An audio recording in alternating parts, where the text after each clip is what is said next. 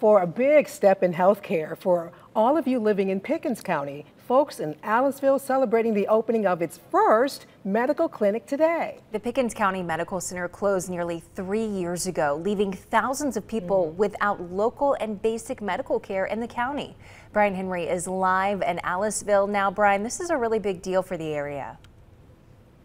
That's right, Morgan and Sarah. Aliceville Mayor Terrence Windham says he knew something needed to be done and done in quick order. He says he quickly got on the recruiting trail and came up with this, the town's first ever medical clinic.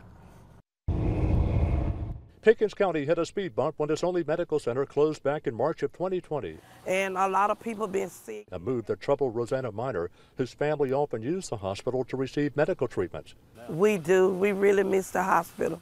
Today, Rosanna Miner is feeling better about medical care, at least here in Aliceville, where the town's first and only medical clinic is just weeks away from opening for the first time. It's a great, it's a great work. It's a great thing. The community as a whole and we we looking forward to it. I'm elated. Aliceville Mayor Terrence Windham is also looking forward to it.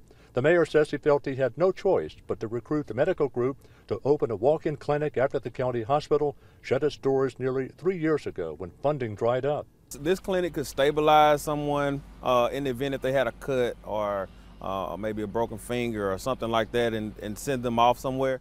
To put this in perspective, the clinic should cut potential trips to Columbus, Mississippi, or even Northport for this town of 2,400, according to the mayor. Whatley Medical now has three clinics in Pickens County. Aliceville will be the third location. So there will be uh, either physicians or uh, mid-level practitioners. For Rosanna Miner, yeah, thank God for the vision. Feeling good moving forward about basic medical care in Aliceville. Now, in a related medical matter, there remains an aggressive push by county leaders to reopen the Pickens County Medical Center in nearby Carrollton, Alabama. Now, even if it reopens, Mayor Windham says the new clinic here that you see behind me isn't going anywhere. In Aliceville, Bryan Henry, WBRC, Fox 6 News, on your side.